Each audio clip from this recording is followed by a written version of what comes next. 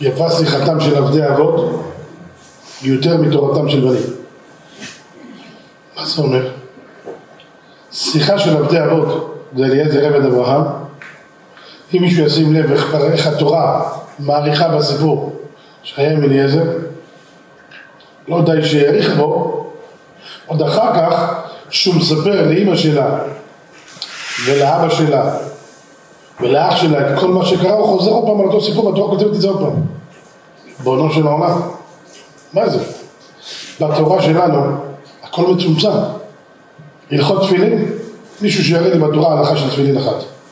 הכל הלכה למשה מסיני. מרובעות הלכה למשה מסיני שחורות הלכה למשה מסיני. ארבע בתים בראש בית אחד ביד הלכה הכל הלכה למשה מסיני. בין עיניך כתוב תותפות. בסדר. אבל רוב ההלכות של התפילין שחורות כאורם הכל הלכה למשה מסיני הלכות מקווה מישהו שיראה לי בתורה. ארבעים שאה של מקווה הלכה למשה מסיני. כל הדינים של מקווה הלכה למשה מסיני. ים של דינים. דיני נידה. הכל כתוב ברמזים. כל התורה כולה, כל הלכות שבת למדנו מהמשכן, אין כמעט, תחפשו לי בתורה הלכות בורר, הלכות טוחן, לא מוזכר אפילו ברמז, כלום, תלמד מהמשכן, מה זה? כשמגיעים לעבדי אבות מספרים סיפורים באריכות, תגיד לי אח שלי, מה קורה פה, זה ספר סיפורים חלילה? ממש לא. אומרים חז"ל, בואו תראה, יפה שיחתם של עבדי אבות יותר מתורתן של בנים. התורה של עם ישראל, שהיא תורה, שהיא הוראה, שהיא דרך חיים, שהיא מלמדת לך מה לחיות, מה מותר ומה אסור. זה תלמד. זה תפתח ספרים. תורה של בכתב, תורה של בעל פה, תלמד גזירות שוות, תלמד גלגליות. בואו תראו, נזיר. ברב מסכת נזיר אומרת, אדם שאמר הרי אני נזיר, לא אמר כמה זמן. אם אמר הרי אני נזיר מאה יום, מאה ימים. 200 יום, 200 יום. שנה, שנה, מה שאמר? אבל אם אמר סתם הרי אני נזיר, סתם נזירות 30 יום. מאיפה יודעים את זה? כתוב בפסוק נזיר יהיה, יהיה בגימת ראייה 30. תגידי, אדם רציני, גימת ראיות, מה אני פה? אתה מספר פה סיפור על אליעזר עבד אברהם באריכות, יש לך מספיק לכתוב, ופה אתה מתקמצן לי במילים. מה העניין? אלא רבותיי צריכים לדעת. שמדברים דרך ארץ קדמה לתורה.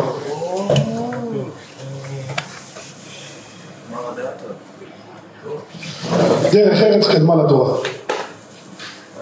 לפני הכל, לפני התורה, זה מידות, זה דרך ארץ, זה שליטה עצמית, זה כוח. איזה הוא גיבור הכובש את יצרו? העוצמה של הבן אדם מתחילה, רבותיי, לא, לא בזה שהוא למדן גדול, והוא ידען גדול, העוצמה הגדולה ביותר רבותיי זה שהאדם יודע לשלוט על עצמו, ולזה קוראים מידות. הגמרא אומרת, חוזרת ברכות, שאדם שנפטר, שקבר, לא החליף בית כנסת, לא החליף כיסאות, כל החיים שלו במקום שלו. כל הקובע מקום לתפילתו אלוהי אברהם באזור. אומרת הגמרא, האדם הזה שנפטר, מה אומרים עליו בהלוויה? אומרים עליו בהלוויה, היי צדיק, היי ענב, איפה הצדיק, איפה הענב? מתלמידיו של אברהם אבינו, שאיף עין ושאיף נפיק, נכנס בכפיפת קומה לבית המדרש, בכפיפת קומה שאיף נפיק גם יצא כשהוא שפוף. וגריס והורייתא תדירה, היה לומד כל הזמן תורה.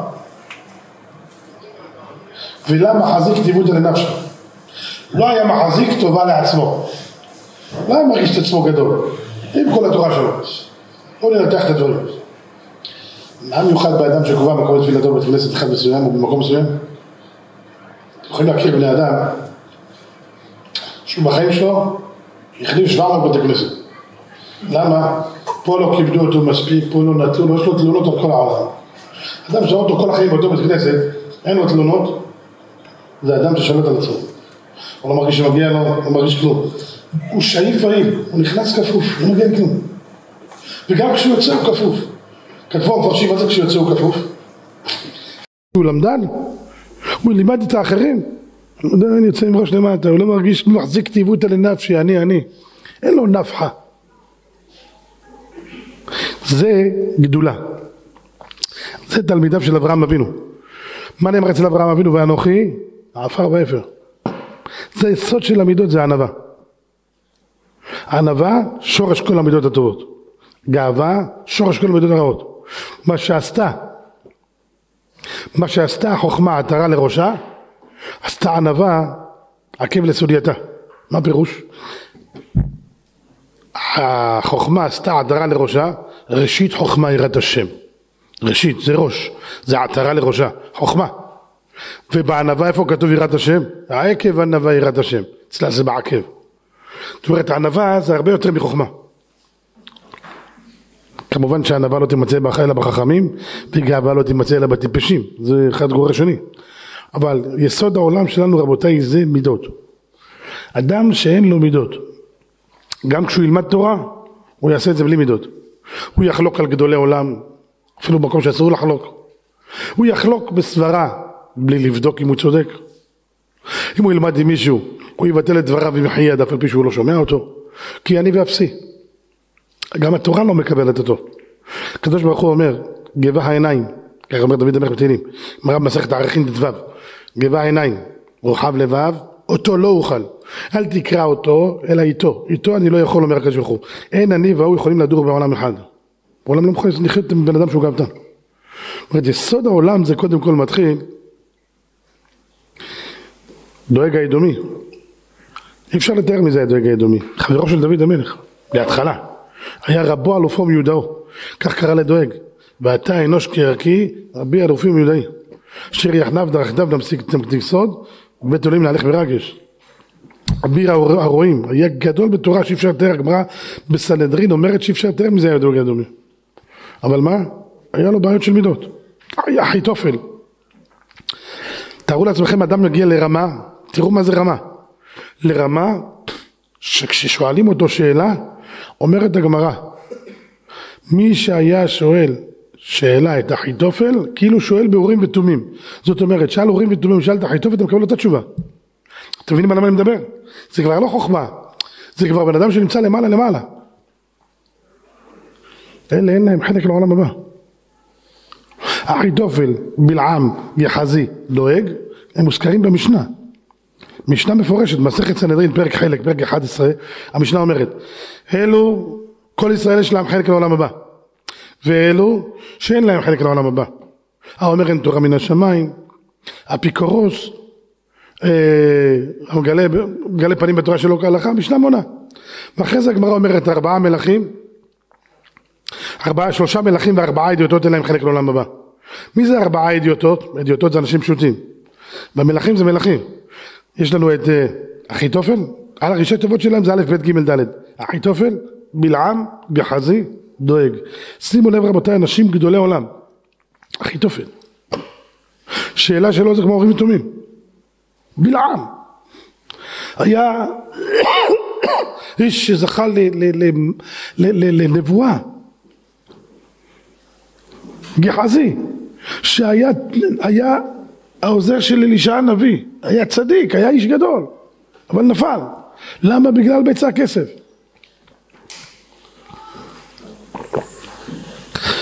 ודואג האדומי, שכינה בשאול בדוד המלך.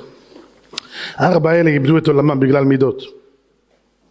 קורח, מה איתו? איך איבד עולמו? לא בגלל מידות. קינה במשה רבנו. מה היה חסר לו?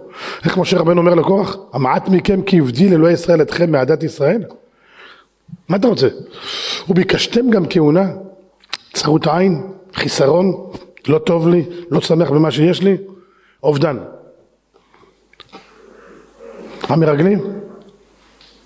כולם אנשים, ראשי אלפי ישראל המה? הקדוש ברוך הוא מעיד עליהם שהם צדיקים? כולם אין להם חלק לעולם הבא, מוזכרים במשנה? אין להם חלק לעולם הבא. ריבונו של עולם, תגיד לי, מה הולך כאן? נשיאי ישראל, גדולי עולם, נאבדו בתהום הנשייה. מה, מה, מה הפשט? ברגע שאדם לא יעבוד ולא ידכא את עצמו מהמידות הרעות, זה חורבן העולם. תדעו לכם רבותיי, כל אדם שמקננות בתוכו מידות רעות, יהיה קשה לו מאוד לפרוש מהעבירה. גם אם יהיה דתי וגם אם יהיה צדיק, יהיה לו קשה לפרוש מהעבירה. או מעבירות של בן אדם למקום, או מעבירות של בן אדם לחברו. הוא לא יכול להיות נקי. אין מצב. זה מקנן בתוכו ומפעפע בתוכו כהרסו של החנאי. הוא לא יכול להתגבר.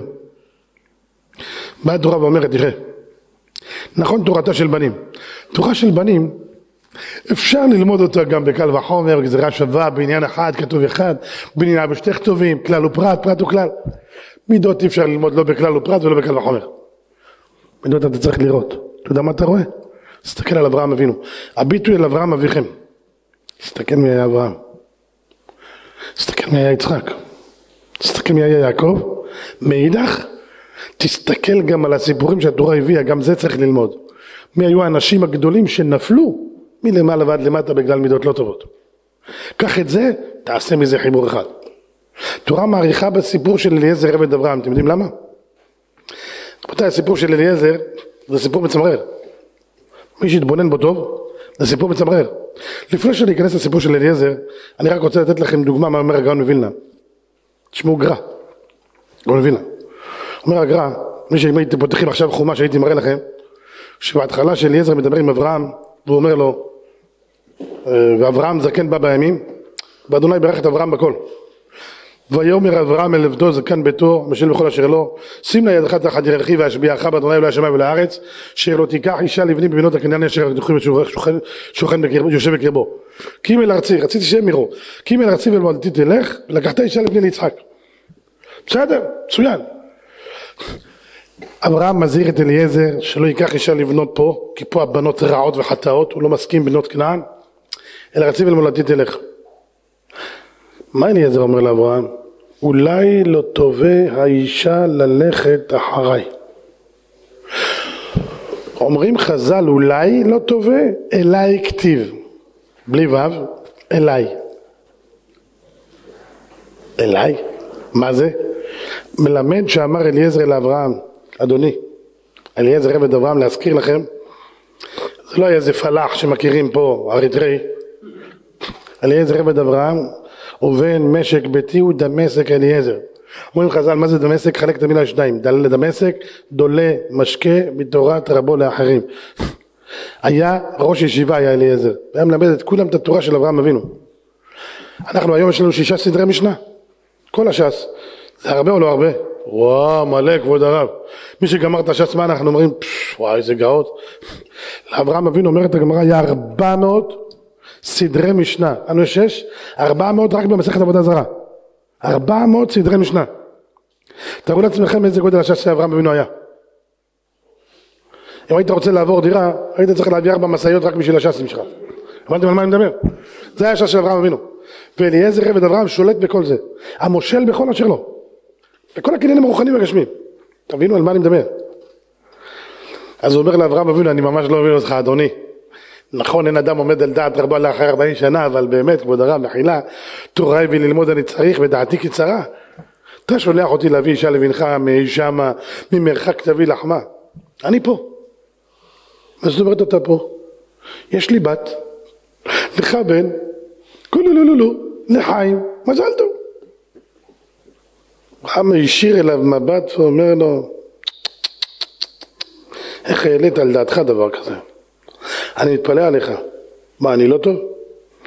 אמר לו אברהם, אתה טוב מאוד, אבל יש לנו תכונות הפוכות. אני ברוך ואתה ארור, וארור וברוך ביחד לא מתחברים כמו שחושך ואור לא מתחברים ביחד. סתם ככה, סתם. אני לא, לא עכשיו עוסק בזה. אני אשאל אתכם שאלה, אם מישהו היה אומר לך, תשמע אח שלי, אני מציל לך את הבת שלי, אתה אומר לו, תשמע, אתה ארור ואני ברוך. אני מתערב איתכם שזה נגמר בבית סוהר. אתם יודעים מה זה? וזה לא סתם בן אדם. תארו לעצמכם אחד ראש ישיבה, יש לו משגיח בישיבה שנים, עוד הרב, הבת שלי לבן שלך, אתה ארור ואני ברוך. אתם תשמעו מחר בבוקר שכל הארץ פיצוצים, היה מכות בישיבה, נשברו חלונות. אליעזר, ברור, ברוך, בוא'נה, איך הוא מדבר אליי? הבנתי. הרב אמר, אני מוריד את הראש. רבותיי, זה מטורף. אבל בואו נעזוב את זה רק לרגע. נגיע לזה. אליעזר ואברהם עומדים פה אחד מול השני, והוא אומר לו אליי, והוא אומר לו לא. מה אמרנו? מה כתוב שם? אולי כתוב בלי ו'. לא נכון, פתחו את החומש כתוב, כתוב עם ו'. אז מה הרב, אתה עובד עלינו? אתם יודעים איפה כתוב בלי ו'? אומר הגר"א, כשאליעזר סיפר את הסיפור לאביה ולאמה, לאביה ולאמה ולאחיה לבן המזרו בזה, שהוא סיפר להם את זה, שם כתוב אליי. שואל הגאון מווילנה למה? איפה היה הדיבור של אליעזר עם אברהם האמיתי? בהתחלה או שמה? פה, בהתחלה. פה צריך כתוב להיות אולי, בלי ו'. למה פה כתוב אולי עם ו' ושם כתוב בלי ו'? השאלה שלי ברורה? או שאני מדבר, מקווה שאתם מבינים אותי, כן? אם אתה מספר לי שאולי זה אליי, זה היה צריך להיות בשעת הסיפור של הדברים שקרה את זה בין אברהם לאליעזר. שהוא מדבר איתו, אולי לא תובע אישה ללכת אחריי, אשיב אשיב את בנך שמה, שם היה צריך להיות כתוב בלי ו'. איפה זה מצופר הסיפור הזה בלי ו'? שהוא מספר את זה ללבן. תשמעו מה אומר הגאון מווילנה, תקשיבו טוב. אומר הגאון מווילנה, כשבן אדם נגוע באיזה דבר, הוא לא מרגיש שהוא נגוע. כשאליעזר בהתחלה אמר אולי לא תובע אישה ללכת אחריי, אולי? אני אשאל אתכם שאלה. אם אני רוצה להגיד למישהו שאני רוצה שיקרה איזה משהו, אולי תבוא אליי לאכול אצלי צהריים? מה זה אולי? הלוואי. ואם אני אומר פן תבוא אליי לארוחת צהריים, זה אוי ואבוי אם תבוא לארוחת צהריים. שאמרו לכם פן יפתה לבבכם. איך אליעזר פונה לאברהם? אולי. הלוואי שהיא לא תסכים לבוא אחריי ואז תיקח את הבת שלי. אבל כאן כשהוא אמר את זה אולי, הוא לא שם לב אפילו אומר הגאון מווילנה. הוא לא שם לב שהוא נגוע. אולי לא טוב האישה לך אחריי והכוונה מתחבא מאחורי הדברים זה אני רוצה את הבת שלי, הוא לא שם לב. אתם יודעים מתי הוא שם לב? שהוא התנקה מזה, כשהוא כבר לא נוגע בדבר. כשהוא כבר עשה את המשימה ונתן את הבת, את הבת הזאת, את רבקה, לקח אותה ליצחק והוא סוגר את השידוכים, רק עכשיו הוא שם לב, אליי כתיב, בואי נא, אני הייתי נגוע ואני רציתי את הבת של אברהם לעצמי ולא שמתי לב שזה בכלל לא מתאים. אתם מבינים על מה אני מדבר?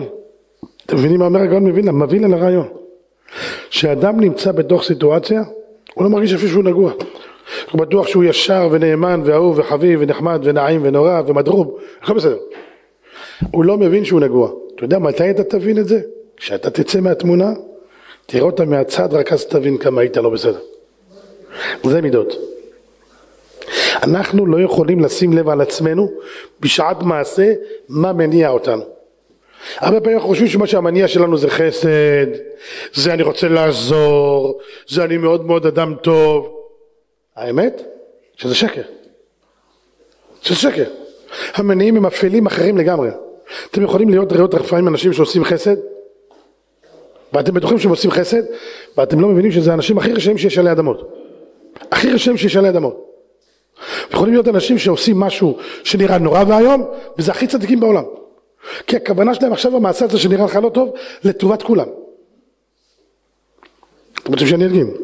אני חייב להדגים, בוודאי. חז"ל אומרים, חסד לאומים, חטאת. אמר רבי יוחנן, כל חסד שעושים גויים, חטאו להם, הם עושים עבירה. מה? לא מבין אותך באמת. למה אתם הדתיים הכל הופכים, את הכל הופכים, תגיד לי. הופכים את הקערה על פיה. כתוב שהגוי בא עושה חסד, מה לא טוב בזה? טוב, תגיד שזה לא חסד, גם זה חטא? איך הגעת לזה? אה, אמר רבי יוחנן, כל חסד שעושים הגויים, חטא הוא להם, עבירה. למה? דכל חסד דאבדין לגרמי הוא ודאבדין. פירוש מילולי, כל חסד שהם עושים, עושים את זה רק לטובת עצמם. הוא עושה לך משהו בשביל שהוא יקבל משהו. אין מצב שהוא עושה חסד נטו כדי לעזור לך. הוא מסתכל מה הוא מרוויח מזה שהוא יעזור לך, לפי החשבון הזה הוא עוזר לך. ואם הוא יודע שהוא לא ירוויח ממך, הוא לא יעזור לך. אתם יודעים, היום אנשים יכולים לראות. על הבת בריתנו, ארצות הברית. איזה צדיקים. ברוך השם, דאג לנו. אם היינו באמת צדיקים, השם לא שם אף אחד איתנו. אחד מאיתנו יכול להניס אלף ושניים רבבה. ארבע כבר יניסו פי, פי אלף. רבותיי, אנחנו יכולים להשמיד את כל העולם עם ארבע יהודים. לא הגזמתי עם אחד. אחד יכול להרוג את כל העולם. יכולים לצאת מפה היום ולהגיד לכולם הרב הזה משוגע. אבל אם זה לא היה עם אברהם אבינו, אז הייתי משוגע. אם זה לא היה עם המכבים, אז הייתי משוגע. אבל ההיסטוריה שלנו מלאה בזה. מלאה בזה. ארה"ב באה לעזור לנו? ודאי שהיא באה לבקש את המגמה שלה ואת האינטרסים שלה הפרטיים והאישיים במה שהם מרוויחים מאיתנו. השם גלגל את זה כך בגלל שאנחנו לא מספיקים, מספיק בסדר. אז צריכים איזושהי עזרה והרתעה. עם ישראל לא צריך הרתעה מאף אחד. אם הקדוש ברוך הוא ייתן שאגה אחת בעולם, הוא מחריב את כל העולם כולו. אנחנו צריכים משחטות. רבותיי, כל המשחטת הזאת, גם שאתם שומעים איזה גודל, תשימו לב איך היא נראית בלב ים. תסתכלו עליה מרחוק, תראה זה נראה כמו קליפה של שום. אתם שמתם לב איזה גודל הים? שאלה לכיתה א', מי ברא את הים ילדים? אה? ראיתם את הגודל של הים? אתם יודעים, המשחטת הזאת נכנסת לים והיא נבלעת בתוכו בעומק, גם את השאריות שלה לא, לא ימצאו, אם היא יורדת לעומקים גבוהים, אתם יודעים שאם צוללת הכי גדולה, או האונייה הכי גדולה, או משהו הכי גדול שאתם מתארים, יורד, יורד לעמקים, מגיע לעומק מסוים, זה מתחיל להתכווץ מהלחץ של המים וזה נהיה כמו ג'ולה, נעלם במעמקים. אתם יודעים את זה? אתם יודעים איזה כוח יש ללחץ של מים? ראו חמיים אלוהים, ראו חמיים אלוהים, יכילו אף ירגזו תאומות. אנחנו נבהלים מאיזה משהו שצף על פני המים כאגוז? אנחנו השתגענו? רבותיי, אנחנו לא רוצים חסדים של אף אחד, חסד אל כל היום. אברהם אבינו מלמד אותנו בפרשה שלו של קניית האישה לבית ישראל, להביא את כל בית ישראל שזו רבקה, מה זה מידות? אליעזר עבד אברהם היה ארור. מישהו יודע מה פירוש ההגדרה של ארור? מה זה ארור? ארור. ארור זה מקולל. מה ההגדרה הזאת?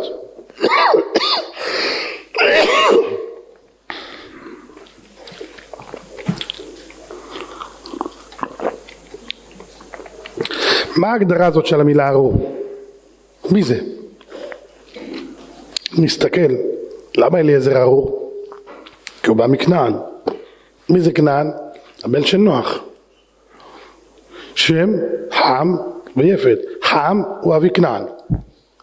שם זה אנחנו עם ישראל, יצאנו משם, כמו שאומרים היום אנשים אנטישמים, אנטי שם, אנטי עם ישראל שבאו משם. יש חם ויש יפת, יפת זה כל שאר האומות, עשיו וכולם יצאו מ... זה נקרא שם, כל האומות שמסביב, שהם נקראים למעשה יפת אלוהים ליפת וישכון בעולה שם. אוקיי, אז אם אני מתבונן עכשיו על כנען, כנען היה ארור. מי הוא הארור הראשון בתורה? הנחש. נכון? שם הקדוש ברוך הוא מקלל אותו, כי עשית את הדבר הזה, ארור אתה מכל חיית השדה. על גחונך תלך ועפר תאכל כל ימי חייך. והיווה אשית בינך ובין האישה ובין זרעך ובין זרע. הוא ישובך ראש ואתה תשבנו עקב. הנחש ארור. למה? מה ההגדרה של ארור בנחש? בואו נתבונן. הנחש היה כפוי טובה. כפוי טובה זה ארור. הנחש היה כפוי טובה. אותו עשה הקדוש ברוך הוא בעל חיים הכי משובח מכולם. היה עומד על שניים היה מדבר כמו בן אדם, מדבר. אמר רבי ישמעאל, גמרא מסכת סנהדרין, חבל על שמש גדול שאבד מן העולם. שומעים מה שזה? הוא אומר, איבדנו מן העולם שמש גדול. למה? הנחש היה גבוה כמו גמל, ויותר ממנו. היה חזק מאוד, והיה מדבר. אמר רבי ישמעאל, אם היה לנו היום נחשים כאלה, כל אחד היה מחזיק בבית שמונה, עשר נחשים, בואי נא, לך למכולת, ארבע לחם, שמונה בצל, תשע קלמנטינה, ארבע גבינה, שש... הנחש היה הולך, עושה קניות, מדבר עם הבעל מכולת, קונה, שם, מביא. לא צריך מכוניות, לא צריך פקקים בכבישים, אתה רואה רק נחשים בדרך, ולא הלך כפעם בפעם לקראת נחשים. כל הדרך הייתי רואה נחשים. הפסדנו, הפסדנו, ככה אומר רבי שמואל. אבל הנחש היה למעלה מכולם. מה הוא היה צריך לעשות? כיוון שהשם עושה אותך למעלה מכולם, תשבח את הקדוש ברוך הוא יותר מכולם. מה הוא עשה? הלך לדבר לשון הרע על הקדוש ברוך הוא. מה אומר לחווה?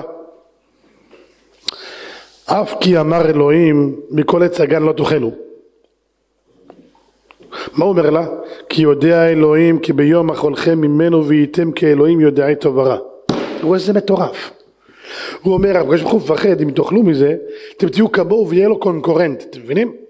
בשביל זה הוא מפחד, אז תאכלו. תגיד, אתה השתגעת על השכל שלך? מה יש לך אתה?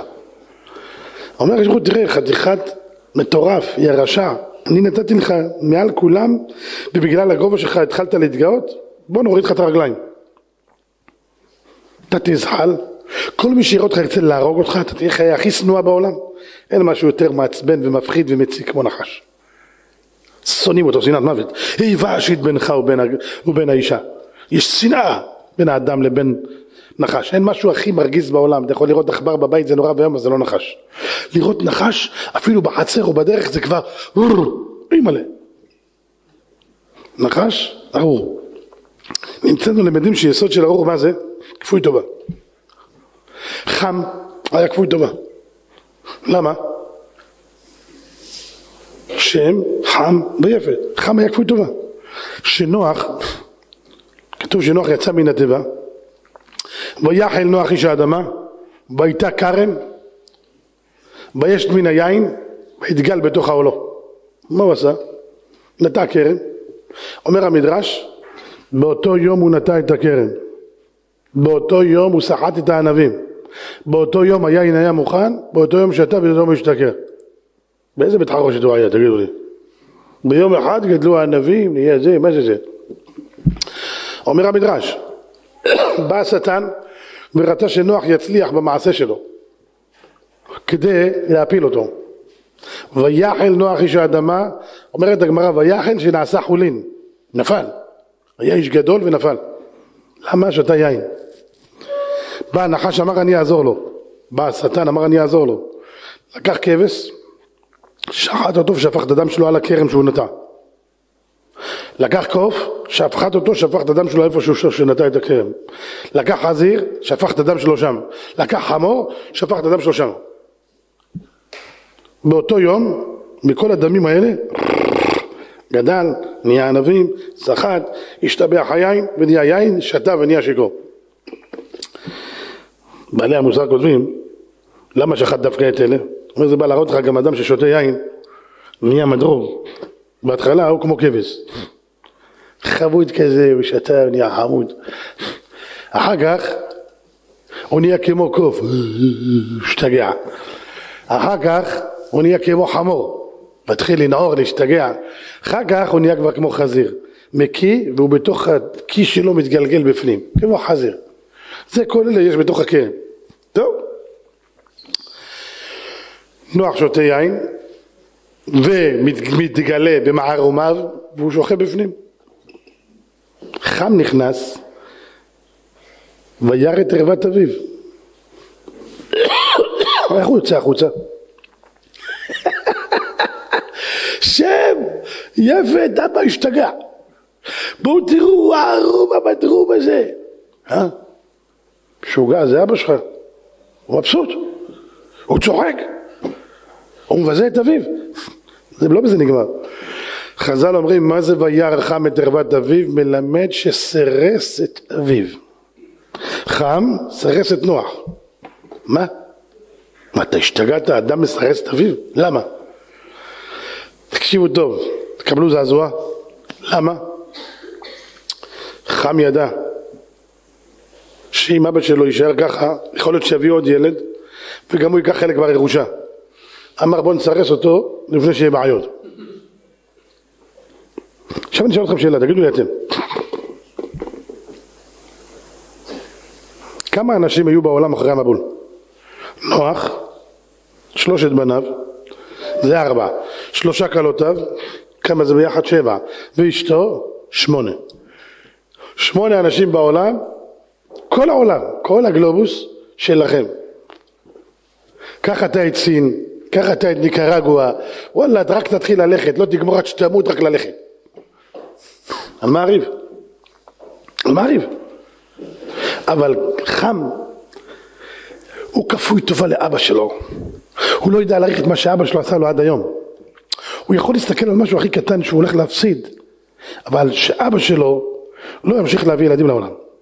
חם, ארור, מקולל.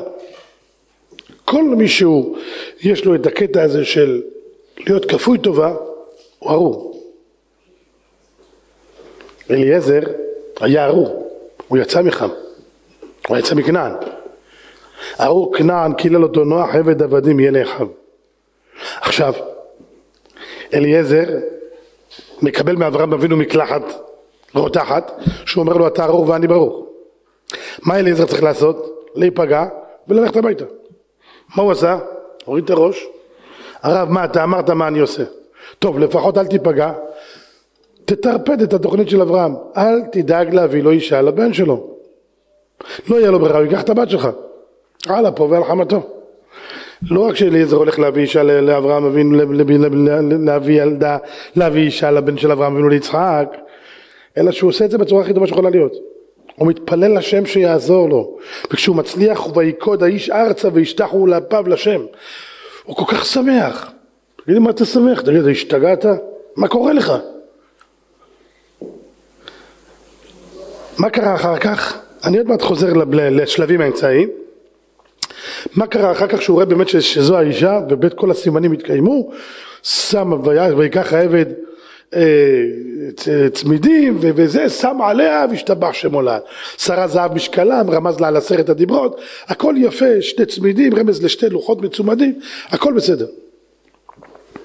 מה קורה אחר כך? כשהוא מגיע לבית של לבן, מה לבן אומר לו? בוא ברוך אדוני ואנוכי פיניתי הבית ומקום לגמלים. אתם יודעים מה אומרים חז"ל? בוא ברוך השם עכשיו יצא מכלל ארור ונכנס לכלל ברוך. וואו. אליעזר לא ארור יותר. איך זה? מה הוציא אותו מכלל ארור לכלל ברוך? מה שדיברנו. נכון היית ארור.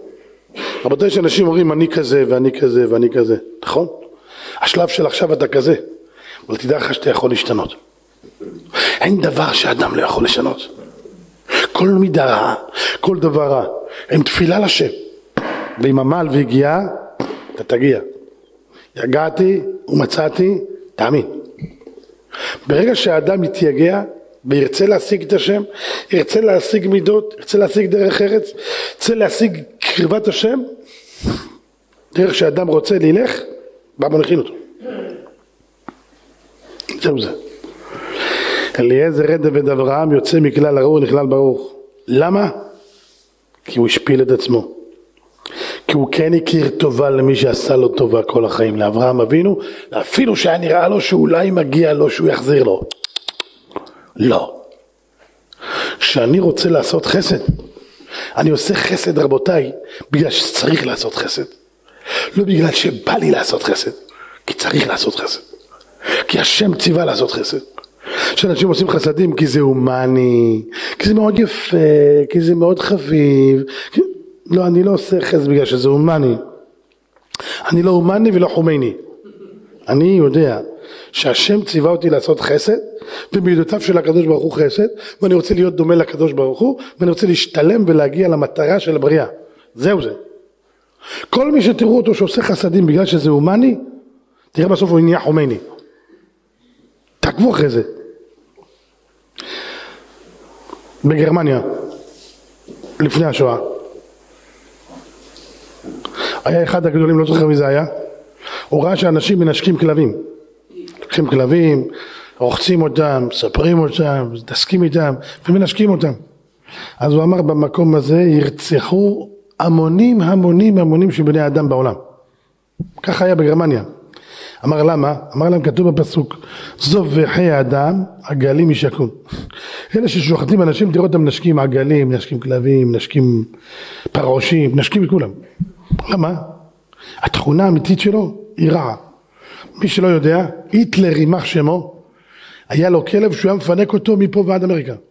היה מחבק אותו אתה לא יכול להאמין שבאיש הזה יש חמלה או משהו. יש לו חמלה לכלבים. זהו זה. אבל בני אדם במחי יד, הוא יכול להרוג.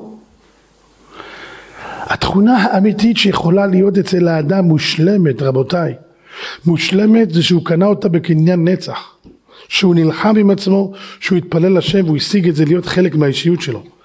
אין דבר שאי אפשר לשנות, אין מציאות בעולם. מי שאומר אי אפשר מדבר שטויות, הכל אפשר. עם תפילה ועם רצון ועם עבודה אפשר להשיג. איך אליעזר בודקת האישה שצריכה להיות הבת של אברהם, הכלה של אברהם אבינו? אותה אחת שאמורה למלא את האוהל במקום שרה אימנו? הרי אברהם נותן ליצחק את הזכות להתחתן. הוא מביא לו אישה, הוא מכניס אותה הביתה, כתוב שם ברש"י, כתוב בפסוק, ויביאה ויקחיה יצחק ויביאה אוהלה שרה עמו. אומר רש"י בשם חז"ל, ויביאה אוהלה והנה היא שרה עמו. היא בדיוק כמו אמא שלו. איך ידע שהיא כמו אמא שלו? אומרים חז"ל, ששרה הייתה חיה, היה שלוש ניסים. נס אחד, ענן קשור מעל האוהל. מה בריא ענן מעל האוהל? שראת שכינה. איש ואישה שזכו שכינה ביניהם. דבר שני, ששרה הייתה חיה, ברכה בעיסה. שים בצק, הכל גודל. נהיה פי עשר, פי מאה. דבר שלישי, מה היה נר דלוק מערב שבת לערב שבת. איך ששרה נפטרה, זה הלך. איך שהכניס אותה יצחק אבינו את רבקה לבית, חזרו כל שלושת הניסים. חזר הנר הדלוק והברכה בעיסה והענן קשור מעל האוהל. זאת אומרת שאליעזר קלע בול באישה האמיתית. איך? הוא התפלל. איך הוא בדק אותה? איך הוא בדק אותה? הוא בדק אותה בדבר שאצלו כביכול לא היה בכנען, היה ארור. אין נתינת חסד ואין דבר כזה לוותר ואין דבר כזה להכיר טובה. להכיר טובה שורשה בחסד. אדם שיודע להכיר טובה זה שורש חסד יש לו. מה הוא אומר? אף אחד לא גילה לו את הסוד הזה. אברהם אבינו אמר לו אל תדאג השם אלוקי השמיים ואלוקי הארץ שהוא ישלח מלאכו לפניך ואליעזר מתחנן לקדוש ברוך הוא אני מתחנן לפניך השם הקרנה לפניי את הנערה ומה הוא אומר? אותה נערה שאני אומר לה גמיני נא מעט מים גם למלך ישב אותה הוכיח השם לבן אדוני והוא הולך והנה רבקה יוצאת ילדה בת שלוש ילדה איפה אימא? מה את עושה פה לבד? היא באה לשאוב מים. הוא ניגש אליה, הוא אומר לה, הגמיני נא מעט מים מקדך. אליעזר היה ענק, ענק. ילדה כזו פספוסה, הוא רול, או בשאיבה אחת מוציא מערבל בטון של מים, הוא מבקש ממנה, תני לשתות. תגיד לי, אתה נכה? שתב מים, מה יש לך? שים, וואלה, עם הגודל שלך אתה שם קש, אתה לוקח את כל הבאר. שלוק אחד אתה לוקח את הבאר. אתה בא אליי. ויש לו שם עשרה עבדים, כל אחד רול, וכולם עומדים שם, וגמלים. אומרת לו שתי אדוני. אומרים חז"ל, היא לא אמרה לו בבת אחת שתי אדוני וגם נגמר לך ישב. למה? קודם כל אמרו שתי אדוני. קח, אני אתן לך. עלו המים לקראתה. איזה צדקת, המים עולים לקראתה. היא לא התכופפה. מביאה לו מים. היא לא אמרה לו לגמליך ישב, למה? כי אם הייתה אומרת לו לגמליך ישב ומרגיש לא נוח. וואי, גם אני אשתה, גם הגמלים, אז זה שותה מהר. שתי אדוני, רק לך אני נותנת לשתות. אז הוא שותה בכיף. אחרי שהוא גמר לשתות, מה היא אומרת לו? גם לגמליך ישב. כמה? עד אם כילו לשתות. מה? עשר גמלים.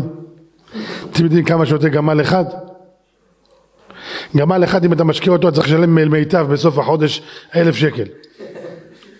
רבותיי זה ספינת מדבר. זה שותה, שותה, הוא לא שותה רביעית. הוא לא יודע מה זה רביעית, זה רבע באר אולי אתה מתכוון. בואי הנה הוא שותה. והיא נתנה לכל העשרה גמלים לשתות עד שכאילו לשתות. והאיש משתעל למחריש שהצליח השם דרכו אם לא. ימלא. ווואלה, האישה עושה את זה. מה, מה עמד מאחורי הדברים של רבקה? רצון לקבל משהו? שום דבר לא. מה אני צריכה ממנו? היא חלמה שהוא בא להביא לה נזמים, בחיים לא. השורש המציאות שלה הפנימית הייתה חסד. עכשיו אני אשאל אתכם שאלה יותר קשה. תגידו לי, אליעזר עבד אברהם, נכון, הוא ארור, הוא מכנען. אבל יש לו בת שגדלה בבית של תורה, נכון? רבקה, נכון, אולי תגיד לי יש לה חסד, אבל היא גדלה בבית של עובדי עבודה זרה. פה ברוך אדוני, ואנוכי פיניתי הבית, במקום לגמלים רש"י אומר, פיניתי הבית מעבודה זרה. אל תפחד אדוני, אתה דתי, אל תדאג, אני לא משאיר את העבודה זרה פה, אני אוציא את זה החוצה. באיזה בית היא גדלה? אתה מביא לאברהם אבינו בת של מישהו שקוראים לו בתואל? אתם יודעים איזה בתואל? לא סתם קראו לו בתואל, תחשבו על המילה בתואל. לא הייתה אישה שהוא לא מתעסק איתה, לא היה גבר שהוא לא מתעסק איתו. הוא היה מתעסק עם כל דבר שזז, בקיצור, זה בתואל. זה האבא של הכלה? אולי אח שלה לומד בישיבה? כן, בישיבת רחובות. הוא בישיבה. הוא ישב כמה פעמים בכלא. הוא יושב. הוא ישב כמה מאסרי עולם. לבן. ארמי. שתבינו שאליעזר הביא ויהי קירות לבן את הנזם ואת הצמידים על ידי אחותו וירוץ. מה קרה? יש כסף. הדוסים האלה מלאים כסף. אני חייב לשאוב לו את הכסף. הוא רץ החוצה. הוא רצה להרוג את אליעזר. אך כשהוא הגיע החוצה והנה עומד על העין, אומרים חז"ל מה זה עומד? אמר שם המפורש אליעזר ועמד באוויר עם הגמלים. לבן אומר, לא ידעתי, ברוך השם, בוא, אתה, התפעל, לא יהרוג אותך, תרד. אליעזר אמר השם וירד, ונכנס פנימה. אתם חושבים שבזה זה נגמר? כולכם מכירים. ויאמר אחיה ואימה. שואלים חז"ל, רש"י מביא, ואבא איפה? אומר רש"י שניסה לעכב. מה? שם רעל באוכל של אליעזר, שיאכל וימות והם ייקחו את הכסף. הוא בא עם מלא כסף הדתי הזה. אלה דתיים, יש להם את כל הישיבות בבני ברק, אלה, אלה מלא כסף. בא מלאך, אמר, מה אליעזר אמר? לא אוכל עד אם דיברתי את דברי. ויאמר דבר. בא המלאך, תחליף את הצלחות, אמר לבתואל, תברך שאכלת משלו. תברך. נתן שלוק, ופתאום שמעו, הלך לעזאזל. אבל תבינו, מי זה האימא? מי זה האבא? מי זה האח? הרוצה שיישא אישה, יבדוק באחיה. מי זה האח של רבקה? עדיף לא להגיד לך את השם שלו. משפחת דורני. מישהו, אתה יודע, מה... מה? אתה משוגע, אתה... מה התשובה בזה? עדיף רבותיי בית של עבודה זרה עם מידות טובות מאשר בית עם מידות רעות של תורה. אתם מבינים את היסוד? מה המידות? מה הדרך ארץ? מה רמת החסד? מה רמת המנטליות האמיתית שיש באדם? מי אתה? מה שורה בקרבך? מה מנהיג אותך בחיים? מידות אפלות או תואר הדרך? יושר, אמת. מה מנהיג אותך? מה מכוון אותך בחיים שלך? אנחנו צריכים לדעת שכל החיים שלנו רבותיי אנחנו מתנהלים או לפי מידות ודרך ארץ או לפי דחפים שזה גם אותו דבר או שאתה מתנהל על פי תורה. כשאתה מתנהל על פי תורה הכל ישר. הלכת ברחוב מצאת ארנק מלא כסף. השתבח שמך לעד תודה רבה ריבונו של עולם. מה תודה רבה? יש בזה סימנים. זה אזור שרובו יהודי, רובו ישראל. צריך להכריז. להכריז מה? מצאתי. אתה צריך להחזיר את זה. יש לך מצוות עשה מדאורייתא, של השבת אבדה, שב תשבעים לאחיך. נכון, עד ראש אחיך אותו, הגמרא דורשת, מביאה עניינים שצריך לתת סימנים, לדרוש אותו אם הוא רמאי או לא רמאי. ניתן סימנים, אתה צריך להחזיר לו. אבל יש פה עשרת אלפים שקל, שיהיה גם מאה אלף, ויהיה גם מיליון, ויהיה גם מיליארד. אתה לא מתנהל על פי חשקים, על פי דחפים, על פי בלוטות. אתה מתנהל על מה שהשם אומר. הוא אומר להחזיר, אני מחזיר. הוא אומר לי עכשיו לא לאכול, אני לא אוכל, אפילו שזה טעים. אני לא מתנהל על פי חשקים. מה שמנהל אותי בחיים שלי זה דבר אחד, מסילות בלבבם. אתם יודעים מה זה מסילות? ראיתם פעם רכבת על המסילה נוסעת? מישהו פעם ראה את הקטר, לוקח את ההגה ואומר עזוב נמאס לי אני נוסע לתל אביב.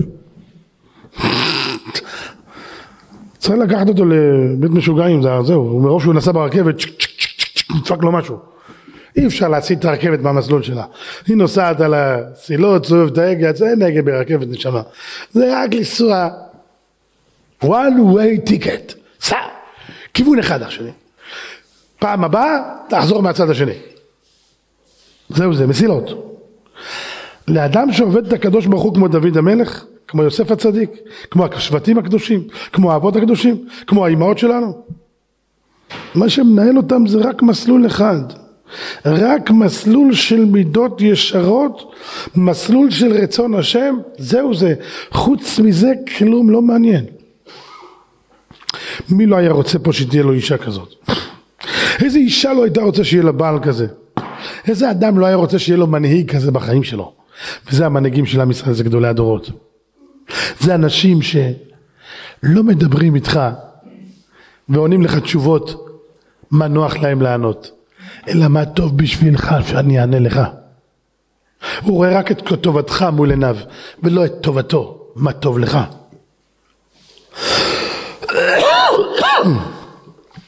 זוהי העבודה.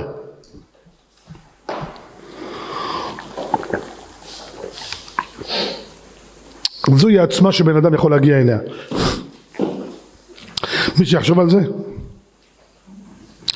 אתם יכולים לראות אנשים שחס ושלום הם רחוקים מתורה, הם לא עושים את זה מרוע, הם בכלל מסכנים, לא מבינים שיש דבר כזה רפואת נפש. הרמב"ם קורא לזה חולי הנפשות. כך מגדיר את זה הרמב"ם. כל אדם שיש לו בעיות, בעיות של מידות, נקרא חולה נפש.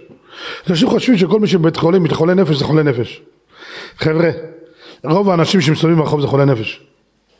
אנחנו מתנהלים בחיים שלנו על פי מידות. הוא עצבן אותי, הוא הרגיז אותי, אני חייב להתנקם בו. זה האמירות. אלה הם האמירות. אני רוצה לספר לכם סיפור.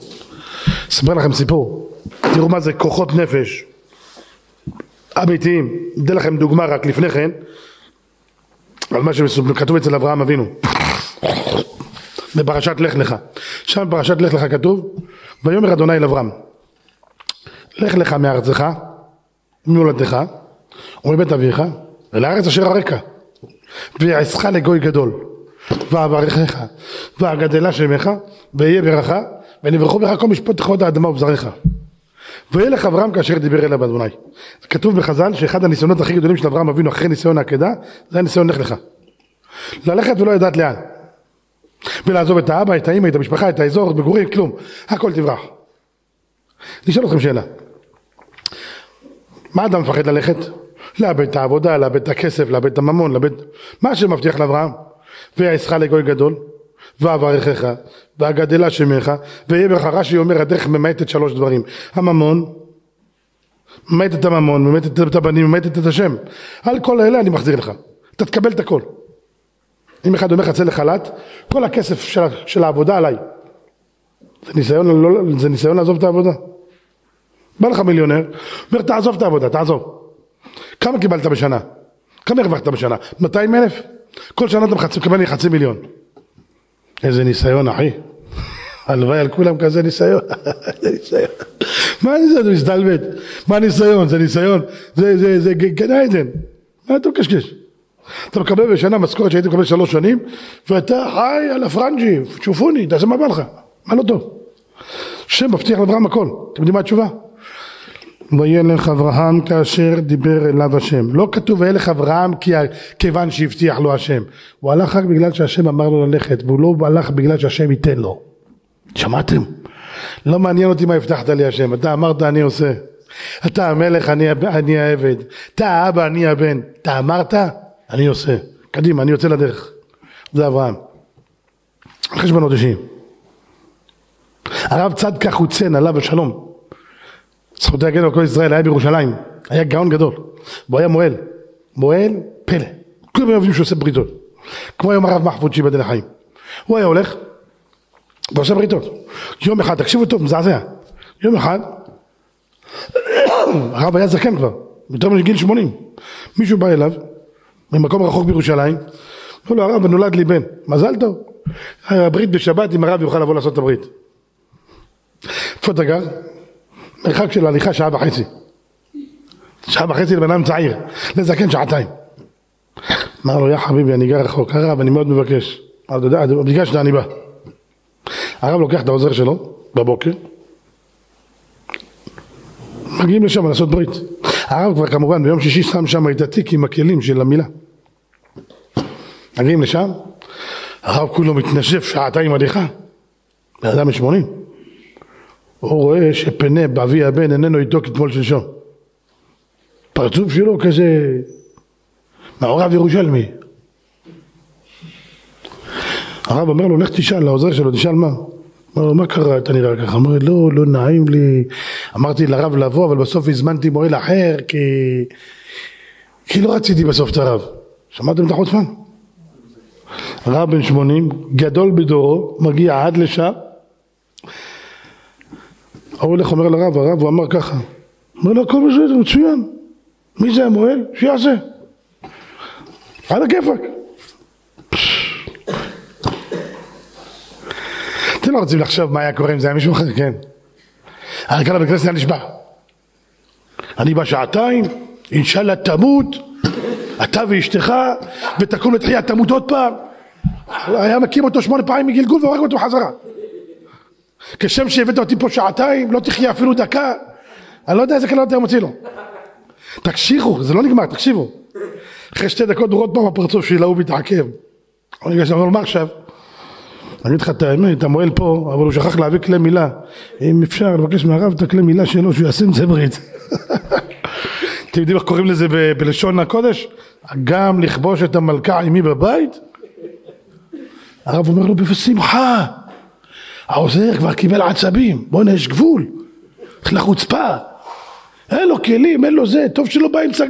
עם פטיש ואיזמל. וואלה מה זה, זה מועל, זה, זה מועל בתפקיד זה. בא רבי זה משוגע לגמרי. אבל הרב אומר לו שתוק, תן לו. והרב עומד, והרב שר יותר מכולם, בסימן טוב. הוא אומר, כבוד הרב, אני אגיד לך את האמת, אני רואה אותך מתעצבן. אתה מביא לי עצבים. כשהם חזרו הביתה, אומר לרב, הרב, עד כאן. אומר לו, עד כאן. אומר לו, הרב עצוב? אומר לו, הכי שמח שהייתי בחיים שלי. מילא תגיד לי, אתה לא עצוב, אני מבין, הכי שמח בחיים, מה אתה שמח? אומר, תראה, כל המצוות שעשיתי עד היום, זה היה קל. פה, זה היה בלי לקבל כלום, בלי לעשות כלום, והסכמתי לוותר על הכל. אני היום הכי מאושר בחיים שלי. כי הצלחתי להתגבר על הכל ואני שמח. אתם שמעתם על עוצמה של, של נפש של יהודי, מה זה הדבר הזה? איפה זה קיים? ספרו נא לידידי איפה זה קיים. אולי בפוליטיקה הישראלית, לך תדע. אתם רואים איך כולם מפרגנים לנתניהו, כולם קונים לו זרי פרחים, כן, בשביל לשים לו על הקבר. רוצים לתלות אותו כי הוא ראו שהוא התייבש, הוא התרטב, רוצים שהוא יתייבש קצת. איפה אתם? משמור אותך ירון הצדיק.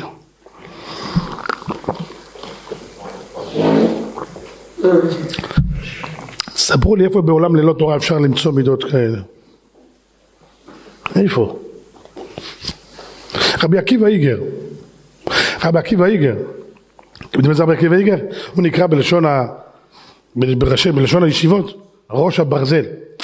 שהוא שואל שאלה, אח שלי אל תנסה לענות תשובה, שלא תמות בדרך. שאלות של רבי עקיבא איגר, גיליון הש"ס, זה ארבע מילים. המילה הראשונה זה קושייה, המילה השנייה זה תירוץ, והמילה השלישית זה עוד קושייה על התירוץ. זה פחד אימים, השאלות שלו זה מפחיד, מפחיד.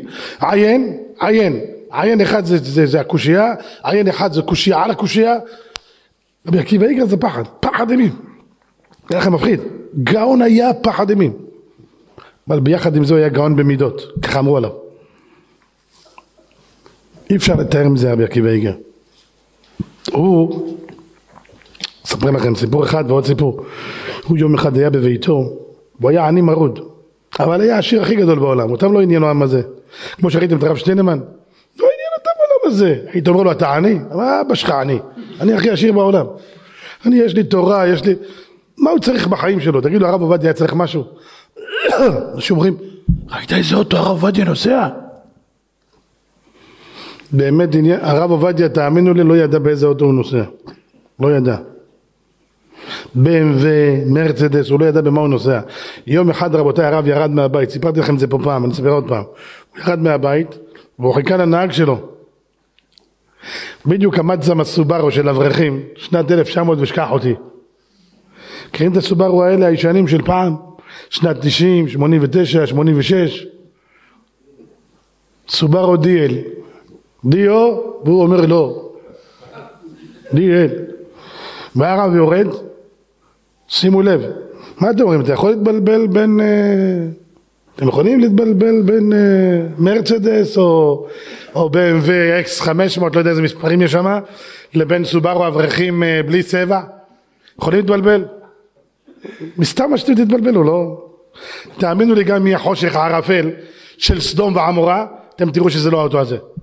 הרב מגיע לאוטו רבותיי, עכשיו ההוא מסכן עומד שם מחכה למישהו, הרב פותח את הדלת, יושב וסוגר את הדלת. תאר לעצמך מה קורה לך, אתה יושב באוטו, אתה רואה את הרב עובדיה יושב באוטו וסוגר את הדלת. אתה מת. אה, לאן הרב צריך? למה אתה צריך? תיסע, מה אתה לא יודע לאן לנסוע? חושב שזה הנהג שלו. בוא'נה אתה לא רואה כיסאות לא מעור, ובכיסא יש חור, סגרת את הדלת, כל השכונה זזה, כאילו, איך אתה לא מרגיש? הרב, אני רוצה שאני אקח אותו לאיזה מקום. אה, מחילה, זה לא אתה. לא, לא, חס ושלום. הנהג שלי צריך להגיע, תמחל לי. מה, מה תמחל לי, הרב? איזה זכות יש לי, תן לי. לא, לא, לא, לא. הרב בירך אותו ויצא. באיזה אוטו הרב נוסע. יום אחד הרב אכל את הסמרטוט, אשתו השאירה סמרטוט בכלי, חשב שהשאירה לו אוכל, הוא אכל את הסמרטוט. הוא אמר לה, היה אוכל טוב. הוא לא שם לב מה הוא אוכל, לא שם לב מה הוא שותה. אשתו הייתה שמה לו אוכל, מורים שהוא בא הביתה, הם לא יודעים אם הוא אכל או לא. עקבו אחריו, ראו שבבית מדרש יש לו אוכל, יש חתול קבוע, כל יום בא, אוכל את האוכל של הרב ונעלם. והרב לא זוכר, אכלתי, לא אכל, לא יודע, לא מעניין אותו. יום אחד בבוקר הבן שלו בא, רואה אותו יושב, אומר לו, אה, בבוקר, הוא אה, שעה שש, שכחתי לישון. הוא שכח לישון. רבי עקיבא איגר, רבותיי, גאון במידות היה, הוא היה עני מרוד. יום אחד הגיע אליהם הביתה עני, עני, וביקש לעשות אצלהם חג, פסח. אמר לו הרב מחילה, אה, אה, יבוא, נתחלק איתך עם מה שיש לי, הרב בעצמו לו לעצמו. היא נשאר איתו, לרבנית היה רק מפה אחת איתה, מפה אחת. הייתה שומרת אותה לפסח, מפה במשך שנים, כבר נהייתה בצבע צהוב, אבל בשבילה זה לבן. זה רק לפסח, שומרים על זה מכל משמר. שמה את זה על השולחן, יושבים בליל הסדר הרב והאורח והרבנית, ובאמצע בליל הסדר רבותיי תארו לעצמכם מה שקרה, האורח לא שם לב והיד שלו קצת זזה ונשפך היין על המפה. הרב קלט שהוא הולך להתבייש ביזיון גדול מאוד, הרב נתן בעיטה ברגל של השולחן והשעין את היד שלו על השולחן ואז הכוס של הרב נשפכה גם. שהאורח לא ירגיש שזה בגללו. ואז הרב אמר השולחן הזה חייבים לתקן את הרגליים שלו זה כבר לא צריך לתקן לו את הרגליים. הרב מנע אפילו פגיעה עקיפית של בן אדם שזה לא קשור אליו זה רבי עקיבא איגר. יום אחד רבי עקיבא איגר, רבותיי, עם הראש המיוחד שלו, היה בעיר. הגיע לעיר, היה שם אחד מהשירים הגדולים, שקיבל חתן גדול, חתן תלמיד חכם גדול, ככה סיפרו עליו שהוא תלמיד חכם גדול, והוא השבת הזאת צריך להגיע לשבת שלפני החתונה כדי להראות לכולם את גודלו, גודל חוכמתו והדרשות שלו. טוב, זה מגיע לשם, ו...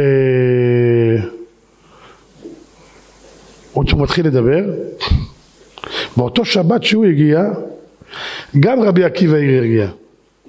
גם רבי עקיבא הגיע, הגיע לשם. הגיע לדבר. החתן מדבר, רבי עקיבא איגר לא מדבר כל השבת. בכבוד הרב, היה אילם. זה רבי עקיבא איגר, אמרו גאון, לא יודע לדבר מילה. החתן מדבר, מפלפל, מפלפל, מבלבל את המוח, מדבר שטויות. וכולם, אה, איזה חתן, איזה גאון. נגמרה שבת, נגמר הכל, עבר שבוע אחרי זה, חתן הזה כבר לא היה שמה, רבי עקיבא איגר עלה למעלה, נתן דרשה, פתח פיו בחוכמה, כולם נהיו אילמים. אמרו לו הרב, איפה היית שבוע שעבר? מה, בלעת ביצה רותחת? מה קרה לך? מה אני אגיד לכם? אני הגעתי לפה, אני הולך להישאר פה, אני הולך להיות הרב שלכם. החתן הזה בא לפה לשבת אחת. אם הייתי מדבר, כולם היו רואים, היו אומרים, אה, הוא לא תלמיד חכם. אני שתקתי, להראות שאני לא יודע כלום, בשביל שהוא יקבל את הכבוד שלו. עכשיו שהוא הלך, עכשיו אני יכול לדבר. מה אנחנו היינו עושים? שחק אותה תלמיד חכם, אה? חכה חכה אני אעלה. נראה לכולם מי אתה בכלל, אתה לא יודע כלום החיים שלך. זה לא תורה. תורה רבותיי פירושו של דבר שלי אכפת מהכבוד שלך. שימו לב רבותיי תלמידי רבי עקיבא, כל כך גדולים היו, כולם. אבל מה? לא נהגו כבוד זה בזה. מבחינת תורה כולם תנאים. שתבינו, 24 אלף תנאים. אבל לא נהגו כבוד זה בזה, היה נגיעה כביכול של איזה מידה, דקה מן הדקה שאין לנו השגה באנשים כאלה גדולים, ועל זה נפטרו כולם תוך תקופה של מפסח עד פרוס עצרת. 33 יום. כולם מתו. למה? שלא נהגו כבוד זה בזה. אמר הקדוש ברוך הוא תורה כזאת שאין בה מידות, לא רוצה אותה. כל אחד מאיתנו צריך לדעת רבותיי. בפרט עכשיו בתקופה כזאת שאנחנו נמצאים עכשיו, בתקופה הלא פשוטה הזו. אני יודע, אני שומע שטויות בזמן האחרון, כל מיני בלבולי מוח. אנשים נבהלים מכל מיני דיבורים. שמעתי את זה השבוע. הנביא נסראללה ינסר אותו הלאה בקרוב אינשאללה. ימח שמות תן נשמתו צורה בצורך מפתחות המזרוב הזה. זה הכלב בן כלב הזה אמר אמרו לי שהוא אמר תזכרו את התאריך אחד אחד אחד אחד. הוא הבטיח שהשבת הזאת זה 11 ל-11 הוא מכין לנו הפתעה. הרשו לי ידידיי להתעלף בצחוק. ולמה? הם צריכים סיבה בשביל לתת לנו הפתעה? תאריך כזה או תאריך אחר אנשים אומרים תעשה לערבים ככה הם יעשו לך ככה. תשמע נשמה אתה לא הבנת. ערבי לא צריך סיבה כדי להרוג אותך. הסיבה הראשונה שהוא ימצא להרוג אותך הוא יהרוג אותך. המקום הכי קל שהוא ימצא להרוג אותך הוא יהרוג אותך. שבוע מישהו סיפר לי הייתי עמום לא, האמת שלא הייתי עמום כי אני מכיר את זה אבל לשמוע את הטירוף הזה את העזות שלהם הרב מאיר אליהו, השם ישמור אותו, התקשרה אליו אישה, היא אחות בבית חולים. היא אומרת לו, הרב, מביאים לי מחבל לטפל בו, אני לא מסוגלת לגעת בו. אבל אמרו לי שיפטרו אותי מהעבודה ואני לא אטפל בו. היא אומרת לו, אתה יודע מה הוא אמר לי? וואלה, תבלי בי, תבלי, תבלי בי, איך אני אקום, אני אהרוג את כולכם. בתוך הבית חולים. הייתי מזריק לו חצי מזרק אוויר, וקצת אה, זה, פתאום היית שומע, והיה עולה בסערה השמיימה. למה לא טוב? תגידו לי. זה היה ממש יפה. יימח שמו ויאבד זכרו. אני צריך להחיות כזה דבר? כזו מפלצת? סיפרו לי, אמרו לי, הייתה אחת, הולכת לזה, היא גם הייתה חטופה, הוציאו אותה, הולכת לשם לערבים, מטפלת להם בילדים, והיא אותם פה לבתי חולים. היא לקחה ילדה אחת שהייתה צריכה השתלת כליה. יהודים תרמו לכליה, למחבלת הקטנה. האימא שלה שבאה לפה לקבל את הכליה אומרת להיא וואלה אתם זנונים היהודים אני לא אבין אתכם בחיים. אומרת לה למה? אומרת וואלה תשאלי אותי הלוואי תהיה שהידית הילדה הזאת תהרוג את כולכם. זה בפרצוף ככה חופשי. אז אתם מספרים לי שהוא צריך סיבה ל-11 ל-11? אחד אחד אחד אחד אחד אחד אחד אחד. חוץ מאחד אין אף אחד לא נסראללה ולא כולם זבל. רבותיי כל אלה דומן לאדמה. הולכים להיות זבל לזבל את הפרחים לזבל את העצים. זה מה שיהיה. אמרתי לכם גוש קטיף פעם פעם היה מישהו שביקש שכשהוא ימות שיקברו אותו בגוש קטיף. שאל למה? שאלו אותו למה? הוא אמר כי שם אין תולעים. אבל בעזרת השם בקרוב בגוש קטיף רבותיי מלא תולעים. אתם יודעים איזה תולעים? כל אחד בגודל של כבל של, של כבל מעריך. כי הם הולכים לאכול הרבה מחבלים. מלא מחבלים אלה הולכים למות כולם. וזה התחלת הגאולה שלנו, כתוב בחז"ל שכשישמעאל ייפול אז תתחיל צמיחת הגאולה של המשיח. עכשיו אנחנו רואים את הנפילה של ישמעאל. זה יתחיל בחזב... פה בעזה וזה ימשיך לכל הכפרים בארץ ישראל וזה ימשיך הלאה לחיזבאללה ולמזבאללה ולסוריה ולכולם. כל אלה יפלו מטה מטה ואנחנו נעלה מעלה מעלה. יהי רצון שהקדוש ברוך הוא יאמר די לצרותינו. שלח לנו משיח צדקנו, שלח רפואה שלמה לכל החולים, כל הפצועים, החזיר הביתה את כל השבויים, בעזרת השם בקרוב בקרוב נשמע כל שופרו של משיח, שמור את החיילים שלנו בריאים ושלמים, אמן כן יהי רצון. רבותיי, עוד פעם אני חוזר ואומר, מי שלא לקח עדיין את הספר הזה, חינם אין כסף הביתה, בהחלטה ברורה שהוא לומד בספר הזה יום יום להצלחת החיילים, יכול לקבל אותו חינם אין כסף, וגם מישהו מכיר שרוצה לקחת לחיילים לשטח. ספר מלאכת יוסף רבותיי. אין לך זמן יותר גדול מהזמן הזה עכשיו רבותיי, שבתות של חורף, שבת ארוכה, מה תעשה? כל הלילה תישן, יכול לשבת כל שבת שעתיים, שלוש, ללמוד הלכות שבת עם עצמו, עם הילדים. רבותיי, זה הזמן למלא את הזמן שלכם בתורה, בהלכות שבת, לדעת אותם על בוריים, לדעת אותם עם איורים, עם המחשה. תומר דבורה, כל העניינים שבין אדם לחברו, מה שדיברנו עכשיו, עניין של מתיקון המידות, זה העבודה שלנו. ויהי רצון שכל מי שיזכה בדברים הללו, רבותיי, ודאי וודאי שהשם יזכה אותו לכל הישועות. אמן ואמן.